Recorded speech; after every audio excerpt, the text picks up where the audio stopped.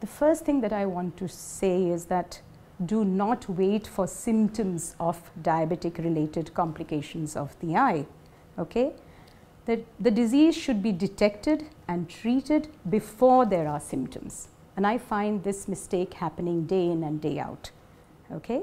But if somebody has not bothered to show themselves, then very commonly they come either with blurred vision, distorted vision, or they come with suddenly seeing these black spots floating in their field of vision, which is actually the bleeding which has started.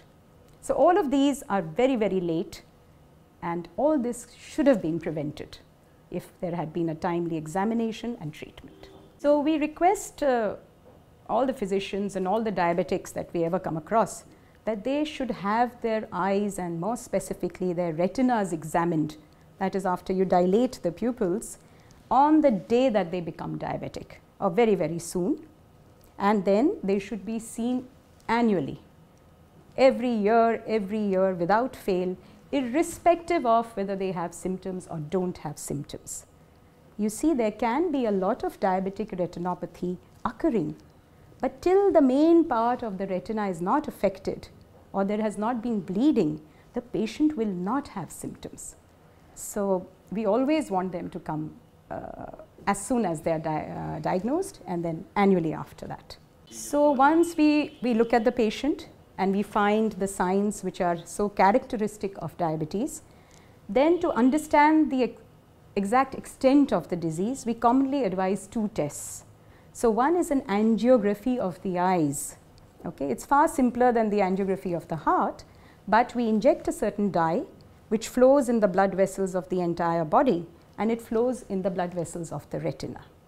When it flows in the retina, we take rapid photographs and by means of tracing the dye, we know where is the leakage, we know where the blood supply has got blocked, which area of the retina is not getting blood, and where are these new blood vessels forming which can then bleed into the eye.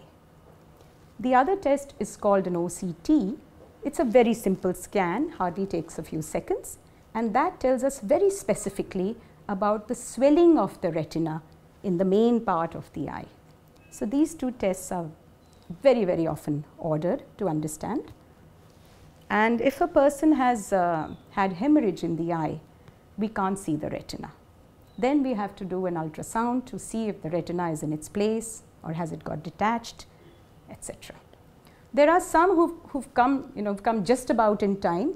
Yes, we are, you know, fortunately able to restore a lot of their vision, if not all. Some of course don't come at that time.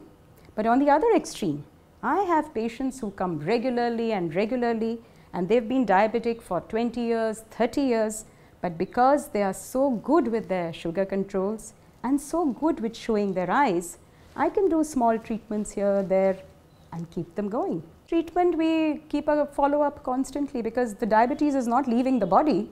So, it can attack again and again. So, I have patients who have received 60, 70 injections, lasers, multiple sittings. It's an ongoing process you know, between the patient and the doctor, you know, it becomes a long-term relationship actually.